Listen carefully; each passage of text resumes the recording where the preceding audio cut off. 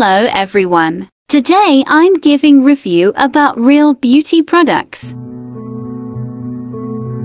Real Beauty Olive Black Mask. Olive with charcoal. Activated charcoal mask deep pore cleansing mask that purifies skin by removing dull surface cells, blackheads, whitehead and impurities. The natural ingredients improve blood circulation of your face through this mask. Olive oil rich vitamin A and in natural fatty acid, mineral and antioxidants, natural organic properties with brightening, lightening and protect your skin. Clean your face with cleanser.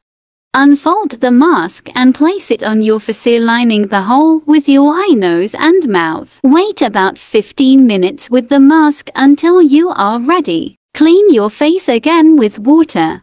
Get good results. Beauty Matte Eyebrow Pencil.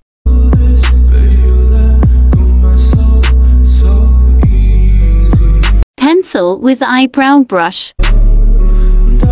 Waterproof and pigmented. Easily to use.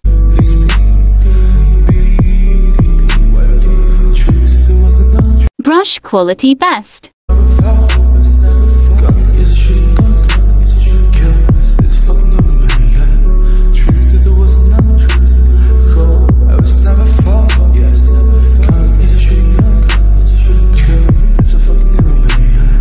Real Beauty Noir Matte Eyeliner Fluid.